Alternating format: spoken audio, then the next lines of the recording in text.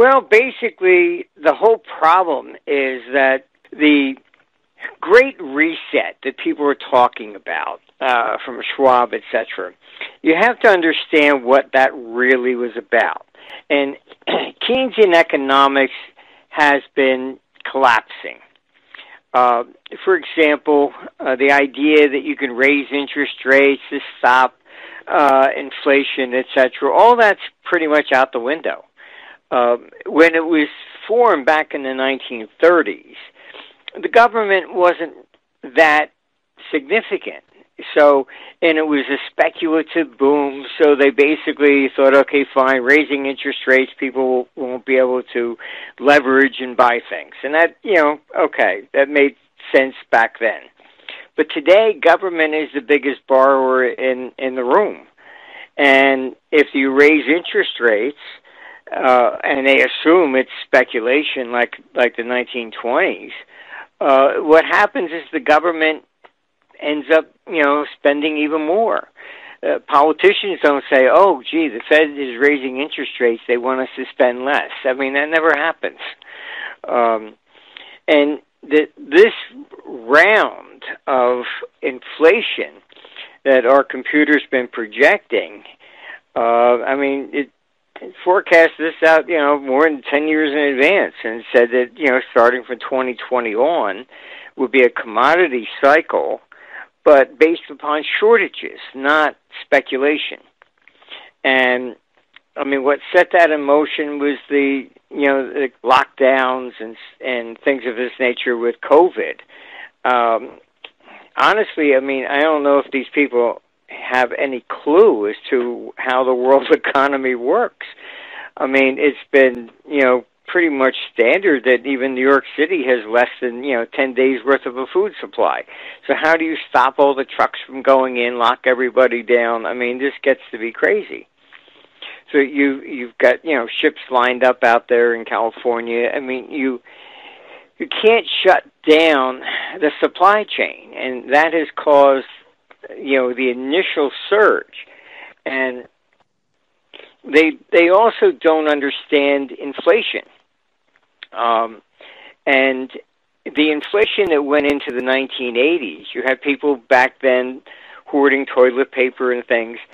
And uh, even now, when I go to the store, I mean, some things are, are gone. And then next week, they're back and something else is gone. So what do you do? You buy extra. okay, so you start hoarding because you might not see it again for a few weeks.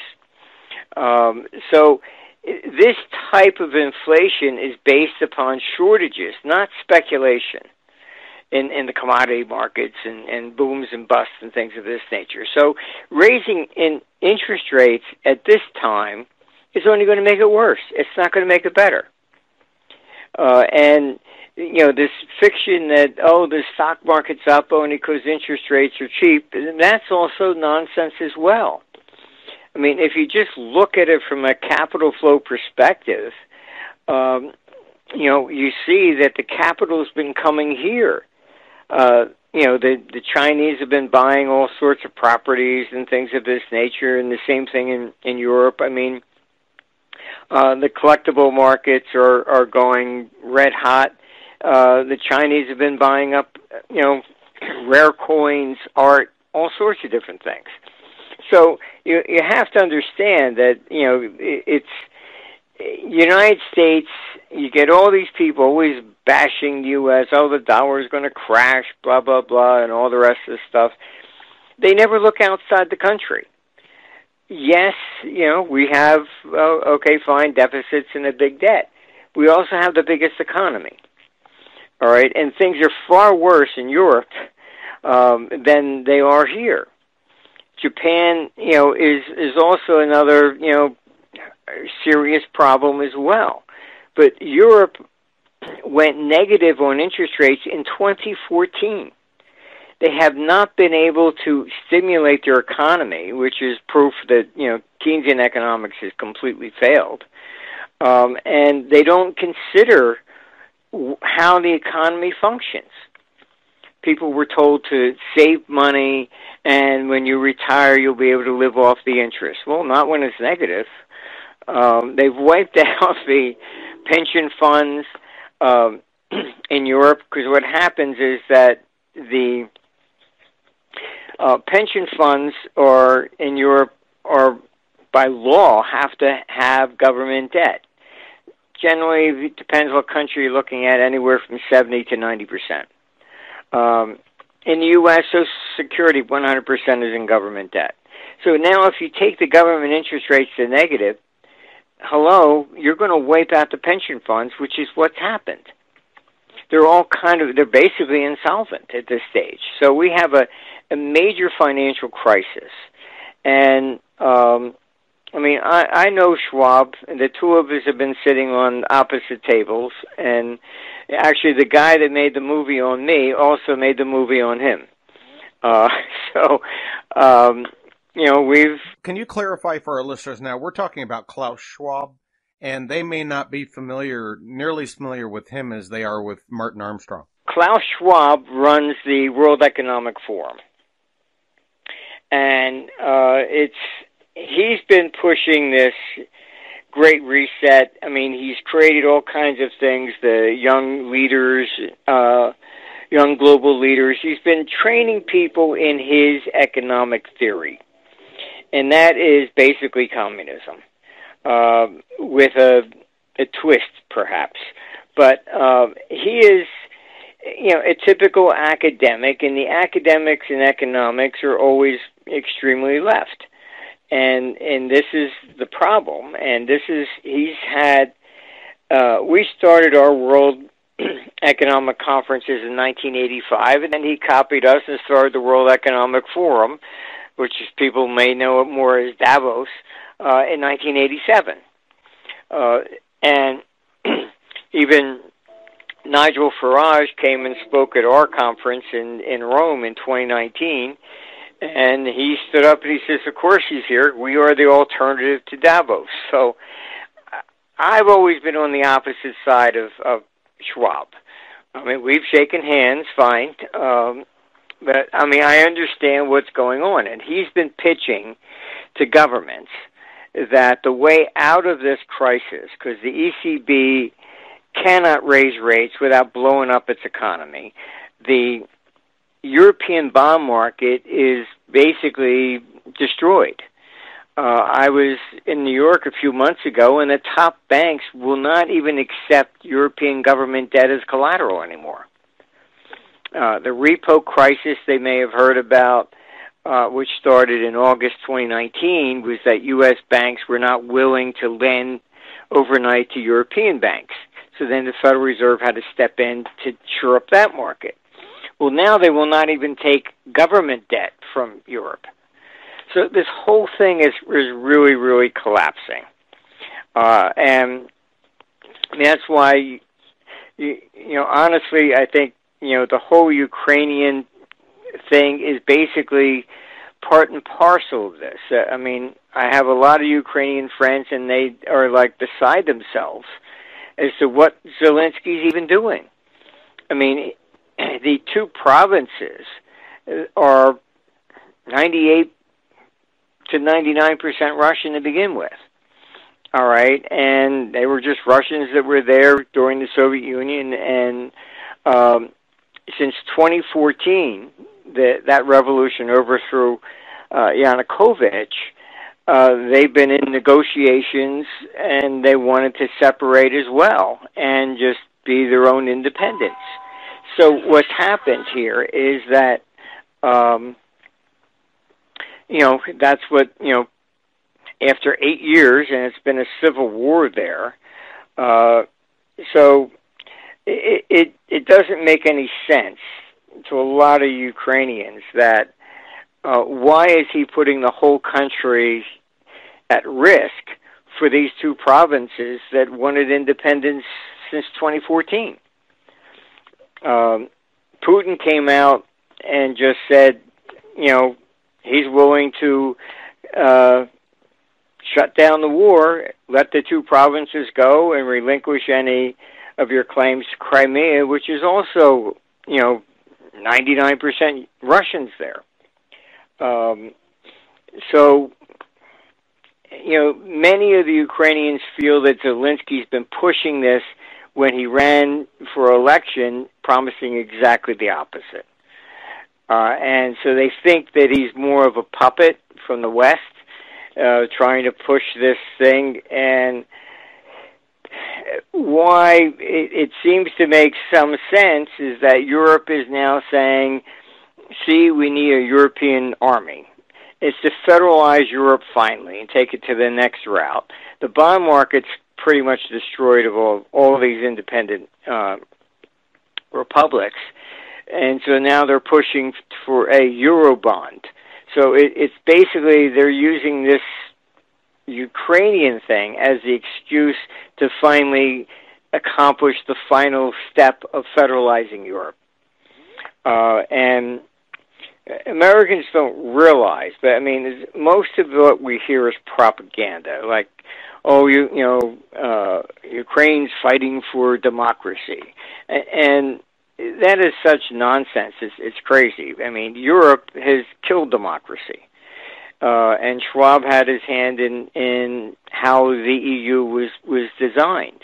The head of the EU does not run for election; they're appointed. The European Commission, which makes all the laws, never stands for election; they're appointed. All right. The only people that stand for election are Parliament, and they have no power to override the either you know the Commission or the or the head of the EU. It's just a dog and pony show. That's the end of democracy. And that's what they would love to bring over here. Uh, and and what sort of started that was when Trump was elected uh, back in 2016, because they suddenly European uh, leaders got scared, and they thought, "Oh, gee, maybe we could be overthrown as well." Uh, that Trump was not a uh, a, a career politician, and they were calling it uh, not democracy that the people voted for Trump. They were calling it, you know, populism. And now populism was evil because they can can put somebody in and they don't really know what they're doing and overthrow the system. And that's what um I mean even the London Financial Times did a, a piece on it. You can find it on our site. But um about how upset they were that that Trump was even elected. And that's why you know you saw the Republicans were even stabbing him in the back, uh, McCain and and Lindsey Graham, etc. Um, you know they don't like somebody from outside of Washington. So like Biden is Senate, all right. Uh, Harris, the same thing. Uh, I was down there in Washington when Ronald Reagan was elected and they were beside themselves then because he was a governor, you know. And all I heard was, "Oh, we're going to have to train him." They don't like anybody who's not from Washington. That you know, and Trump's, I think, was naive in that sense that when he's standing up saying he's going to, you know. Um, drain the swamp. Well, the swamp is both sides. So uh, he had both sides actually against them down there. So and and then they are the ones that pick the people for the cabinet.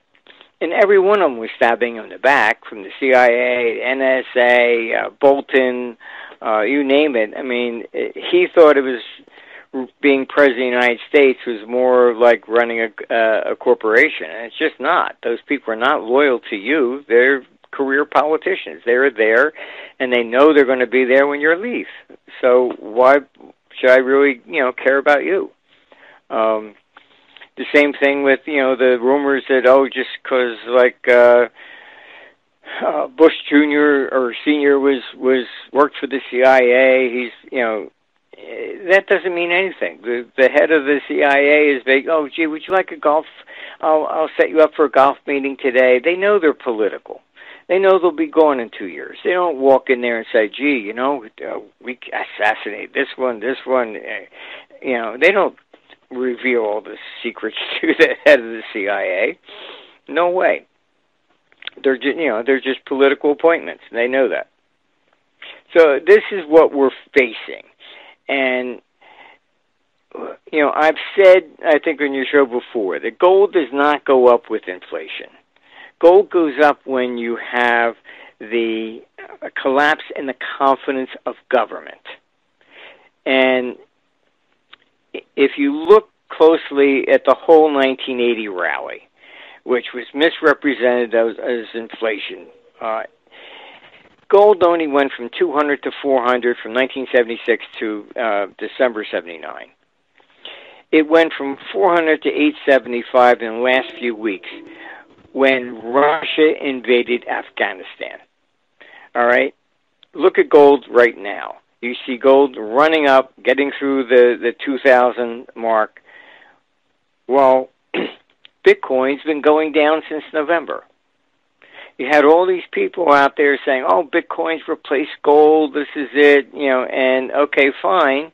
And what did I say? I said gold will go up with the dollar. And that's what you see. Why? Because it reflects capital fleeing Europe. Some people are buying equity, some people are buying, you know, the dollar, some people buy gold. Not everybody's the same. But you end up with gold going up and the dollar going up because of capital flight. The whole roaring 20s, that was created because of World War One. All the capital came here to America. When you got tanks running down the street blowing up the banks, you're going to leave your money there? They all sent it over here. And the United States was virtually bankrupt in 1896. That's when J.P. Morgan had to arrange a $100 million gold loan to bail out the Treasury. Right, so we went from bankrupt in 1896 to the uh, financial capital of the world after World War One. All right, and then after World War II, we ended up with 76% of the entire world gold reserves because all the capital came here. All right, that's why Bretton Woods was setting up basically and uh, you know fixing gold to thirty-five dollars, and the dollar became the reserve currency because it was all here. And you're seeing the same thing happen again. Uh, it doesn't mean that dollar will survive long term, but uh, what this basically means is that you're you always see capital flees wherever you are, uh, wherever the risk of war is. So, like when the Cuban Missile Crisis happened, capital fled the United States, went to Europe. But when it's in Europe, it flees Europe and comes over here. It's just simply the way it it, has historically moved. So, um, you see gold rising and Bitcoin declining. You see the dollar up, and this is all you know very important, but based upon capital flows. That's what our computer does. It's tracking everything in the world. Um, it's the only fully functioning artificial intelligence system in the world. Um, IBM created Big Blue and they thought it was going to cure uh, cancer. It failed. Um, basically, the way I designed their system was completely different than than IBM. Uh, but it the computer physically writes over a thousand reports on markets around the world. We we cover everything from their services in China. We're not because you know the government knows the computer's writing everything, and so you don't have to worry about on you know paragraph three. By the way, overthrow your government or something. Um, when China was basically uh, the Asian currency crisis, I'm the one that they called in. I went, met with the central bank. Uh, I helped China become capitalist, uh, explaining how the system works.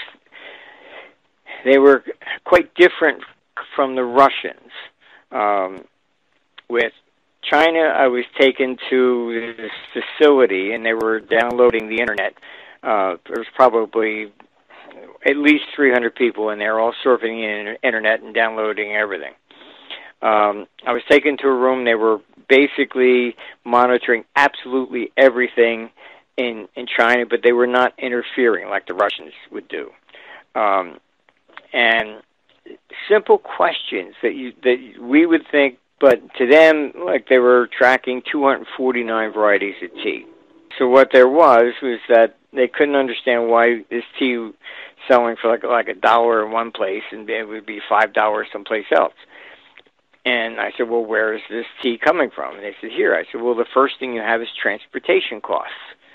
And they go, oh, really? I said, yes. I said, then people will naturally pay for something they think is better and it comes from someplace else. This is why communism failed. If it was a dollar here, it had to be a dollar over there, even if it cost you ten dollars to get it there. Uh, so it was totally impractical, and all this nonsense of oh equality and all that. That's very nice.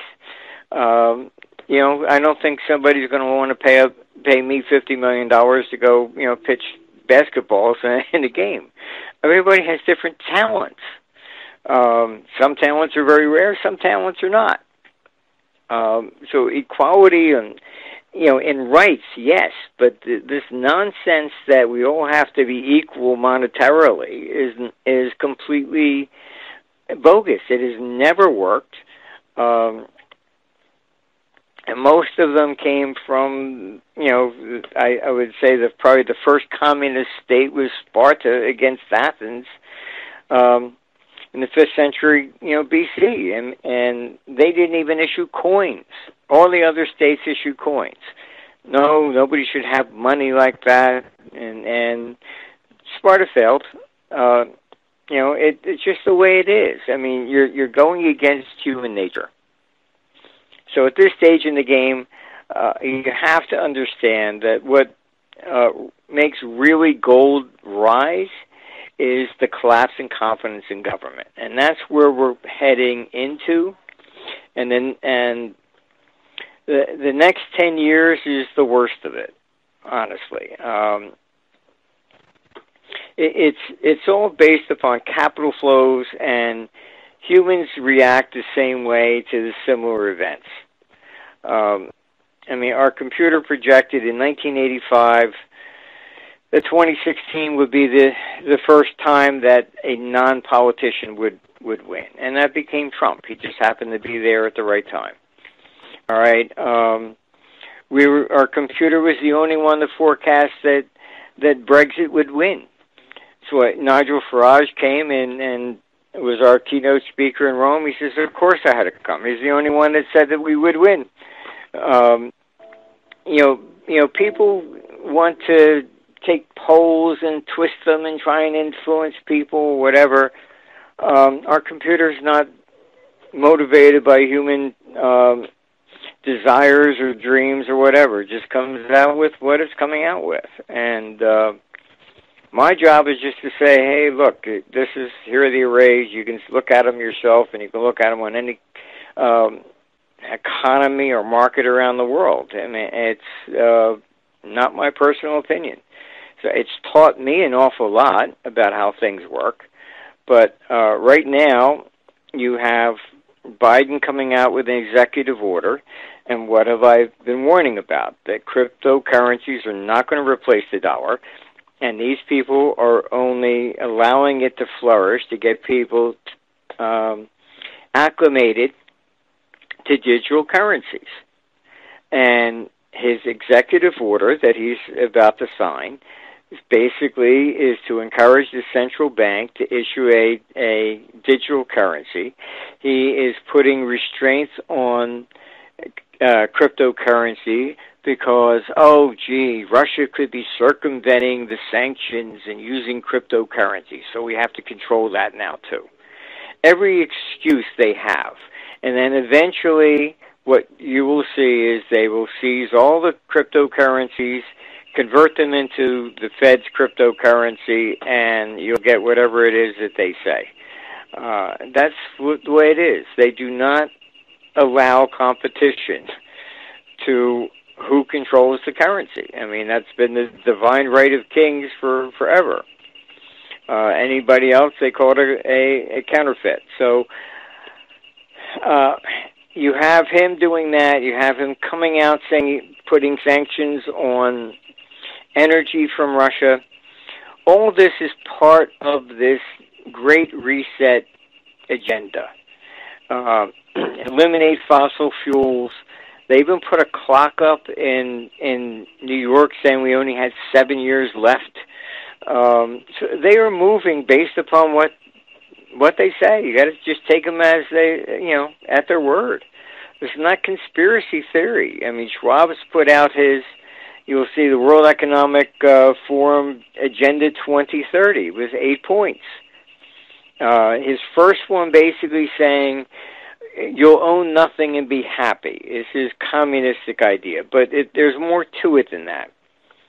Uh, the government debts um, are unsustainable. So the problem here is ha- normally, you know, government always defaults. And so how do they default in this environment, which has been all socialistic?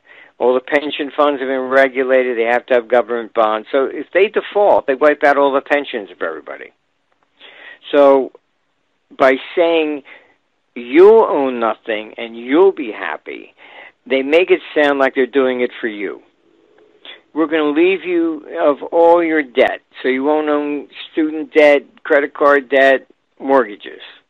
All right, and be like you know the old Soviet Union; they owned all the property. But um, in doing it that way, they make it sound they're doing it for you, when in fact it's them who's defaulting but they can't default. Otherwise, to be millions of people with pitchforks running down there, as putting their heads on spikes. So, like the good old days, you know. So, um, it's a more clever plot that they're up to, and uh, look, they needed this whole Russia uh, nonsense uh, to further this agenda to justify what they need to do uh, in I spoke to someone in Germany. I mean, it they're busting windows of of stores that are owned by Russians. It's basically a Kristallnacht against Russians. Um, you had a New York Met um, fired the head soprano simply because she was Russian. Um, so now Russians have become the new, you know, uh, people to hate, and, and that's basically what's taking place. I mean, um, you had ICE sending out notices they will no longer accept any money from from any Russian sanctioned banks, so they're cutting them off from data. Um, it's it's it's systemic everywhere you go. You got the governor of New Jersey uh, coming out up there. They have Lukoil gas stations and proposing to uh, you know shut them all down because they simply have a Russian owner. Uh, they're seizing yachts of um, this is really highly dangerous. It's one thing to put sanctions from one country on another. When you start seizing all the property of people simply because they're Russian, then, I mean, I've been, you know, an international, well, probably one of the earliest international hedge fund managers. And and analysts, and uh, clients everywhere. We even have offices in China, every you know, Middle East, you you name it, we're there basically. Uh, and what the solution here is is really serious because the number one risk in advising on international funds management is country risk. So I would never advise a client to put money in Iran because they nationalized all the oil. Why would you put investment there and the government doesn't respect it and can and come come up with some excuse and just seize it all? So country risk is your first decision. And now you have Europe and the United States just seizing people because they're Russian. That's very dangerous. Because honestly, from a, a, a an advisory standpoint, do I have a clear conscience in telling Chinese that no problem investing in the United States or Europe? If we get in dispute with, with China, they start seizing private assets there too? This is not good. And the other thing people should understand is we're tearing the world economy apart. When Russia went into Crimea, um, Obama stood up and he was threatening to take them out of SWIFT. The SWIFT organization stood up and said, no, you're not going to use SWIFT for political purposes. This is how the world economy functions. Now, this time, you got a new head of SWIFT in there since 2019, and he goes, "Oh, okay, fine. You want us to take Russia out? All right, we'll unplug them." So now, now what's going on? China's going full steam ahead, pushing for their alternative uh, to SWIFT. What does that mean? It means that you're taking the world economy and re-erecting a financial iron curtain. So there'll be no more international capital movement. All this is coming to an end because of the overzealous sanctions on Russia. It's Russia, it should be the Russian government. It should not be all Russian citizens. And you have even you know Biden proposing to shut off all the Russian credit cards, Mastercard, and because the people have to rise up against Putin. They're not going to do it that way. They're going to see the West as evil. So I mean, you can't attack people like that. Uh, that's what brought Hitler to power. The reparation payments and and the little guy in in in Germany was being crushed for the political decisions of their leadership before, and that's why you know Hitler came to power. He said enough of this, and they said yes, you're right. We've had enough. You can't punish the people. Uh, even Keynes came out and warned them, do not do this. So this is where we're at. Uh, it's an interesting scenario, but just you, you have to understand uh, the real fundamentals taking place here. And once you do, then you look at the markets in a, in a fresh new light.